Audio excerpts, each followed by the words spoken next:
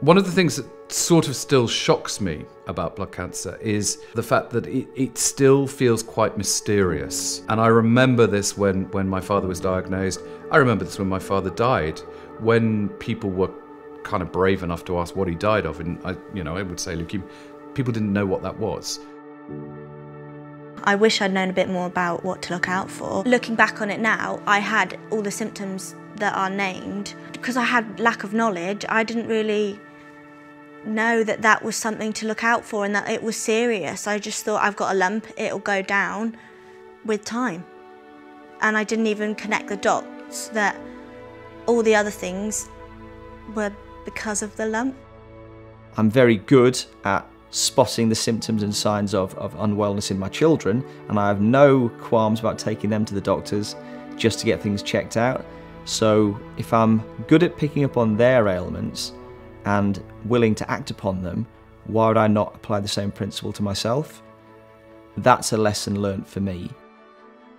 I did have hot flushes in the night as well, but we were going through a bit of a heat wave, so I just put it down to the hot weather, as you do. I had an itchy all over rash, but I also put that down to the hot weather too. I just felt like my whole world was crashing around me. I hadn't really heard of Hodgkin's lymphoma before. I think I've heard of lymphoma, but I hadn't heard of Hodgkin's lymphoma.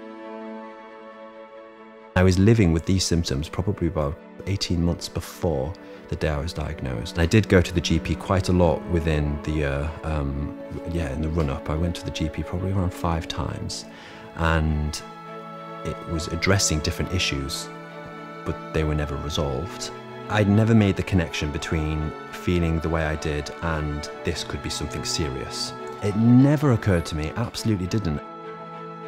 I've learnt to love life, to not take it for granted, because one minute you think you're okay, and then in the next, it literally can happen in a day, and, and you're not okay. I'd never in a million years thought that I'd be in a situation where I'd ever come face to face with cancer. We need to bring blood cancer out of the closet a bit. It's got to be at the forefront of people's daily attention in a way that I think they are with a lot of other forms of cancer. Um, and I think it's it's because it doesn't have that kind of mechanical um, series of symptoms. It becomes more difficult to understand, which makes it so much more dangerous. Blood cancer is a is a failure of the machine. It's a um, it's it's it's so intangible. It's kind of invisible. It's kind of like a bit of a wake up call to say, look, Megan, we're giving you a second chance here.